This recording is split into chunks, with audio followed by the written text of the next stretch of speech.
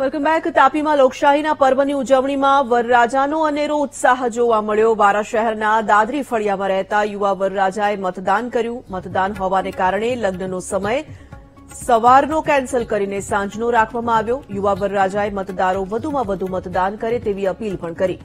શરીરે લગાવેલી પીઠી સાથે મતદાન કરવા માટે વરરાજા પહોંચ્યા હતા.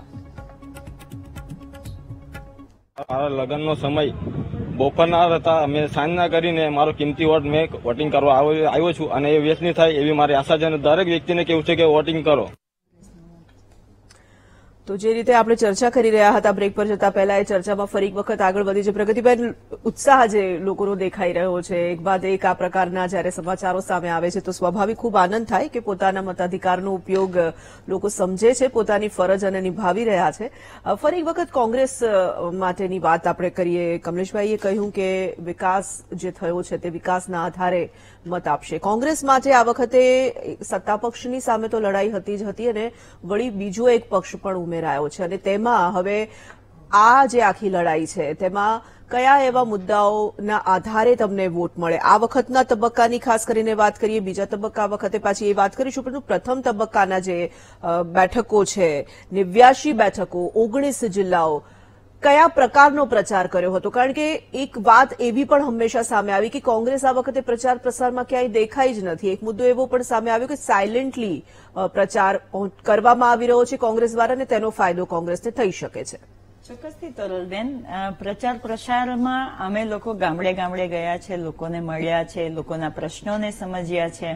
એટલા માટે અમારે કોઈ આવી રીતે દેખાવ કરવાની જરૂર નથી પડી. અમને લોકોએ પણ અમારી બાબતને સ્વીકારી છે કે હા, કોંગ્રેસ હતી ત્યારે અમને રિયલી આવા બધા ફાયદાઓ થયેલા હતા. જેમ કે માધવસિંહભાઈ સોલંકીની સરકાર હતી, ત્યારે મહિલાઓને મફત અને સારું શિક્ષણ મળતું હતું. બાળકો સ્કૂલે જાય, કુપોષણનો દર એટલો વધી રહ્યો હતો કે વધે નહીં. એટલા માટે બાળકોને ત્યાં પૌષ્ટિક ભોજન મળતું હતું. ત્યાં સ્કૂલ ડ્રેસ મળી રહ્યો હતો. તો બાળકો ભણે, ગણે અને તંદુરસ્ત રહે એના માટે કોંગ્રેસ વિચારતી હતી. મહિલાઓ માટે આટલું સરસ કેજીથી પીજી સુધીનું શિક્ષણ મફત અને સારું આપતા હતા. એના કારણે જ આજે કેટલી બધી દીકરીઓ એવી છે કે જે આજે ગવર્મેન્ટ જોબ કરે છે, કંઈક સારી પોઝિશન પર છે. તો કોંગ્રેસે એ બધી દેન આપેલી છે. ખેડૂતો માટે થઈને મનમોહનજીની સરકારમાં, ભલે સત્યાવીસ વર્ષથી ગુજરાતમાં નથી, પણ છેલ્લા આઠ વર્ષથી જ ભારતીય જનતા પાર્ટી સત્તામાં છે. એ પહેલા યુપીએની ગવર્મેન્ટ હતી, ત્યારે મનમોહનજીની સરકારે ખેડૂતોના ઐતિહાસિક દેવાઓ માફ કરેલા છે. એને લોકો આજે યાદ કરે છે. આજે તમે જુઓ તો લોકો ગુજરાતના નહીં, ભારત દેશના લોકો એ સ્વીકારવું પડે કે બે હજાર ચારથી ચૌદમાં લોકોના ઘરમાં પૈસા આવ્યા હતા ઇન્કમ વધી હતી. લોકો પાસે જમીનોના ભાવ વધ્યા હતા, એમના મકાનોના ભાવ વધ્યા હતા. લોકો પાસે સારી પરિસ્થિતિ હતી, પણ છેલ્લા આઠ વર્ષમાં લોકોના ઘર સાફ થઈ ગયા છે. ઘરનું ઘર લેવાનું તો સપનું બની ગયું છે. આ બધા મુદ્દાઓને લઈને કોંગ્રેસ વચ્ચે સત્યાવીસ વર્ષ જેટલો સમય પસાર થઈ ગયો ને એક તરફી મતદાન થઈ રહ્યું છે. પરિણામો જે રીતે આપણે જોઈએ.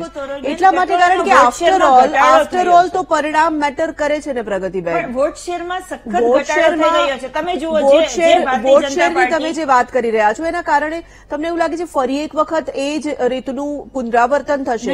તો શું જીતી શકાશે? આપણે થોડા સમય પહેલા સાથે ડિબેટો કરતા હતા ને ત્યારે ભારતીય જનતા પાર્ટીના પ્રવક્તાઓ આવતા હતા ને ત્યારે એવું કહેતા હતા કે એકસો બ્યાસી માંથી એકસો બ્યાસી અમારી સીટ આવશે. અત્યારે તમે ભારતીય જનતાના પ્રવક્તાને પૂછો કે એકસો બ્યાસી માંથી એકસો બ્યાસી માં તમે સહમત છો? એ નહીં હોય. કેમ કે એમનો પોતાનો મનોબળ એકસો એમને એમનું મનોબળ કોંગ્રેસ એકસો કહી રહી છે કોંગ્રેસનો 125 125 લાવવાનું રીઝન એ છે. તમે સમજો કે ગયા વખતે સેવન્ટી એઇટ બેઠકો આવી હતી. એમાં પણ વીસ જેટલી બેઠકો એવી હતી કે જે માત્ર એક હજાર વોટ કે બે હજાર વોટથી ઓછા માર્જિનથી હારેલી બેઠકો હતી. તો એવી બેઠકોમાં પણ કોંગ્રેસે વર્કઆઉટ કર્યું છે. તમે છેલ્લા છ મહિનાથી જોયું હશે ઇલેક્શન પહેલાના છ મહિનાથી કે કોંગ્રેસ સતત ગ્રાઉન્ડ લેવલ ઉપર છે. પ્રધાનમંત્રીજી જેવું કહી રહ્યા હતા કે કોંગ્રેસ મુક્ત ગુજરાતને કોંગ્રેસ મુક્ત ભારત કરવું છે એણે એક જાહેર મંચ ઉપરથી એવું સ્વીકારવું પડે કે કોંગ્રેસને તમે અંડર એસ્ટિમેટ ના કરતા. કોંગ્રેસ ગ્રાઉન્ડ ઉપર છે કોંગ્રેસ રસ્તા ઉપર છે કોંગ્રેસ લોકોના ઘર સુધી પહોંચી છે. આવું પ્રધાનમંત્રીજીએ ક્યારે સ્વીકારવું પડે?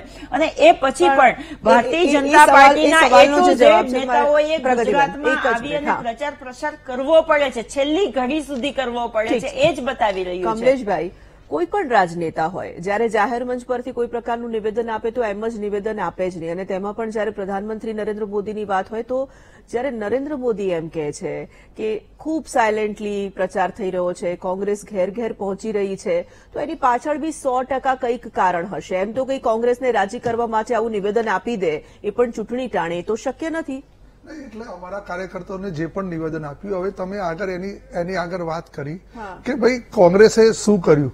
તો તમે અત્યારે બેને સ્પષ્ટ આગળ કે એમને આ માધવસિંહ વખતની વાત કરીને ભાઈ ઉલ્લડો ને કોમીને એ બધી તો વાતો હું નથી કરતો પ્રજા જાણે છે. પરંતુ સાહેબ ખેડૂતોની વાત કરો તો સૌરાષ્ટ્રના ખેડૂતોને અઢાર ટકા સોળ ટકા એ એમને લોન અને વ્યાજ એ મળતી હતી. અત્યારે ડબલ એન્જિનની સરકારની અંદર અત્યારે ઝીરો પર્સન્ટ કેવી રીતે ઝીરો પર્સન્ટ? સાત ટકા એમને લોન મળે છે. તમે વિચાર કરો. એ એ અત્યારે ભૂલી જવાનું કે સોળ ટકા અને અઢાર ટકા એ જયારે લોન મળતી હતી ત્યારે અત્યારે અત્યારે અત્યારે જો હું તમને કહું ચોક્કસ હું એમ કહું છું કે કેન્દ્રની સરકાર ચાર ટકા અને બીજા ત્રણ ટકા સ્ટેટની સરકાર કહીને ઝીરો પર્સન્ટેજ એમને લોન મળે છે સાહેબ.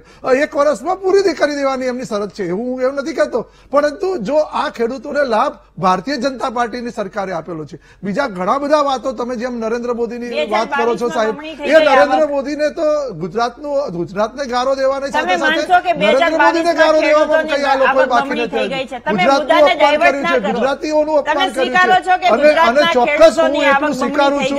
કે કોંગ્રેસના લોકોને કોઈ પણ સંજોગોમાં મોદી સાહેબને નીચા દેખાડવા માટે બહુ સારું દેખાઈ રહ્યું છે.